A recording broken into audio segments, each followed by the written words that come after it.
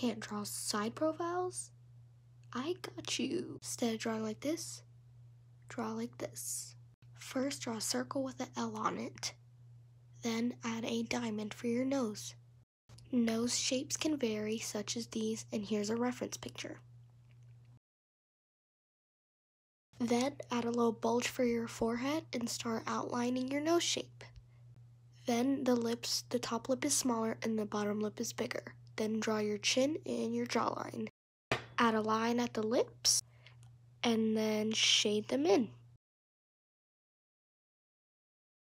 Erase your reference shape and draw a little half circle for the nose details. Then draw a triangle for your eye, shade in the pupil, and then draw the eyelashes and eyelids.